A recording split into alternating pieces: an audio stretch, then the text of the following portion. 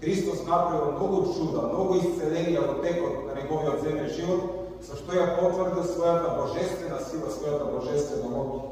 Меѓу кои и три воскресени, значи тоа се воскресението на Јаировата керка, воскресението на момчето на довицата од Нај и Лазар. И тука во овие евангелија, во овие чуда на воскресение ќе забележиме како Господ на вистина ни се прикажува како Господа над живот, Господар над смртта. Тука гледаме како Господ ја победува смртта во сите три неизини аспекти. Ја победува и физичката, но и духовната смрт. Воскресението на Јаировата керга се случува кога? Веднаш после неизиното упокојување кога телото на пак. Нова девојче се уште се наоѓа во пустелот. Воскресението на момчето од Нај се случува кога тој е веќе во ковчег и е носен на гробишта за да биде погребен. Воскресението на Лазар се случува 4 дена после неговото упокојување, кога веќе тој почнува да се расмрти по гробот. И гледаме Господ со овие три воскресенија на некој начин ни покажува како тој ја победува смртта во сите тие три аспекти на физичката смрт. И на почетокот, и следниот ден, и кога човек се распева во гробот. Чи Господ Христос ни се прикажува како Господа на животот и смртта, како оној кој што вистински рече јас сум воскресениот живот, кој верува во мене и да умре, ќе живее. Браќа и сестри, нашата вера се базира на фактот на Христовото воскресение. Ако тоа што Христос го правил било само легенда или измислици на вредни луѓе, ние немаше да ја имаме Христовата црква да торжества 20 векови од тоа време. Знаеме дека секој народ, секоја нација има фолклорни традиции и легенди. Ама гледаме дека христијанството не е легенда, не е тоа бајка, не е тоа предание, кое што нашите баби или дедовци ги го раскажуваат. Туку тоа е живот кој што се пренесува од генерација на генерација па е до нас.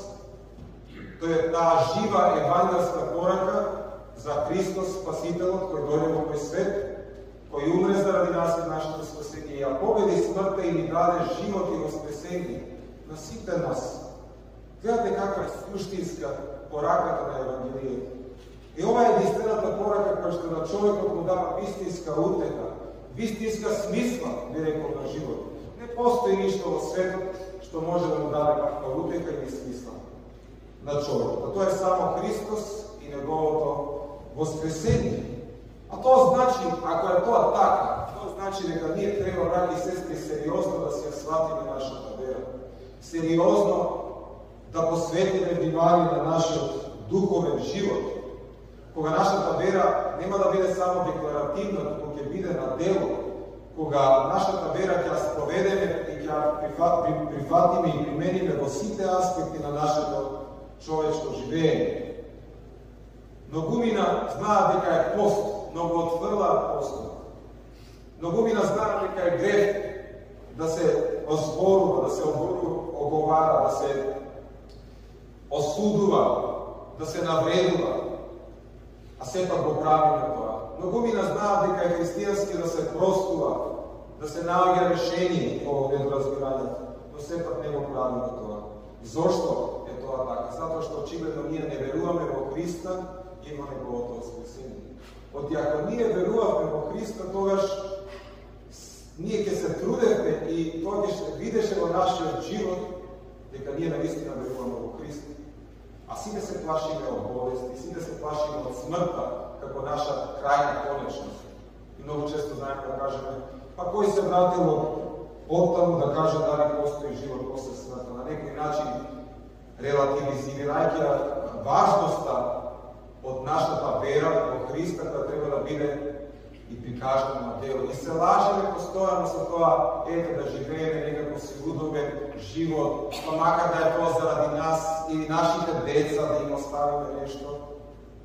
Забораваме дека нашето предназначување не е во овој свет иде, туку во Царството Небесно, кое што не знае за крај, не знае за болка, не знае за тага, И тоа е реалност која е вистина, браќа и сестри, која ви е овозможена преку Христовото воскресение. Преку денешното Евангелие ние се подсетуваме толку на тоа основно начало на нашата христијанска вера. Еве, денес бевме во поводен број во црква, го принесовме Евхаристискиот дар, лебот и виното кој што стана тело и крв Христови. Христос ни се даде како храна и вери со страх Божи вери љубов пристапете, земете и јадете, пијте од неја сите ова е мојата крв, која се пролева за вас и за мнозина за прошка на гревовите. Но тие што вериме, не е важно тоа што го велиш Господи, јас не верувам во тоа, не постам, имам некои поважни работи и така натаму. Го отврваме живиот живот, брат и сестри. Децата се причестуваат и ќе се причестуваат и таа благодат што тие ја примаат сега ќе биде со во текот на нивниот живот. И таа благодат доколку тие посакаат ќе проработи во нивните животи, тие наистина ќе бидат црковни луѓе, љубовни луѓе, христијани на дело. Некои од нив нема, зошто? Затоа што не е доволно само да ги носиме во црква. Потребен е и примерот на родители, на нивните старатели, на заедницата, Што ние не веруваме, зашто да очекуваме дека нашите деца ќе веруваат и ќе бидат дел од црквата? Колку минува на споста, или веќе испостат неколку дена и потоа ќе се причестат и потоа се враќаат назад. Знаеме дека црквата установила денови на пост, периоди на пост. Зошто не постиме? Толку ни е тешко да постиме? Толку е тешко да се откажеме од скара во текот на 40 дена на Божијниот пост? Споредно со Hristos ti ga dava, dava život veći. Da li vredi jedno kebab ili jedna pleskavica, toliko za to što Gospod ti ga dava. Ako Gospod ima me to soznanje neke shvatine neka nema ništa povozvišeno od ona što imam ovdje od crkva, a to je sami od Hristos koji što bi se davalo sveta tekličnost. Zašto ne pristati ono od sveta tekličnost? Gospod je povikuo.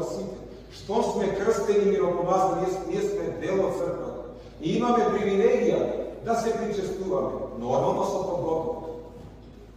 А зошто се плашиме да се подготвуваме? Ти подготовката не е само спорт, брати и сестри. Подготовката е целиот наш живот. Значи, воздржување од грeh прво, а потоа и физичко постење и други дела. Джаби ние го постиме, без маска, 40 дни се караме во гради, се правиме многу години христијани, ама со братот до нас сме скарани, или сме памтили, или не знам што. Дали има смисла за Господ да го тоа? Она што сакам да го кажам, браќи и сестри, дека тоа што црквата ни го нуди како подвиг, пост, молитва, правењето на црква, правењето на добри дела, е ништожно во однос на дарот кој што ни се дава, тоа е светата причест. Зар не ви е жал што не се причестувате кога свещеникот ќе излезе со путирот? Za velike to je dovoljno. Nekoliko pa so godini se nema pričestili. Znate li što znači to? To znači kako na cvjeti da nismo dali sa godini voda. Što se slučilo s kod Normalno bi umrlo kod Dakle, i mi moramo postojalo da se natopuvamo sa sokom na veći život preko pričesti. Ako ne smo se pričestili vodama, povrhu da se podgotovimo da se pričestili. Da razgovaramo sa sveštenicima, pa ispovjeta ne treba da bude strah. Odnosno to što Gospod ima iz poveta je ništa znači. Jer trčate da se ispovedate po stvarama da se pričestivate. Ovdje takvi sveštenici da razgovaraju, otkrite svojite reči zašto ne se pričestvujete. I sveštenik otkrije najde način pravilo koje što vi go pazite da se pričestvujete. Ne znači da treba da pustite strogo postup, strog postup. Ima bolni ljudi, ima početnici, И ние свештениците сме да ова црква и глави кога го да многу лесен пост кога се пост. И човек кога се труди, ќе добие лесен пост и ќе се причести. Ако да не е постно, пак може да се причестува. Тогаш среда и петок се доволно да се подготвиме, да се причестиме. А што е поважно, ако живееме христијански живот. Значи, физичката храна, постот, е најмалото нешто, ама сепак важно. Има некои поважни работи на кои треба да обратиме внимание и да се се подготвуваме до агни да се причастуваме. Да не дозволиме големи празници, како Божи Великден, да Свети Петро и Павле, да Свети Никола или славата која што славиме да помине така, а да не се подготвиме и да се причестиме.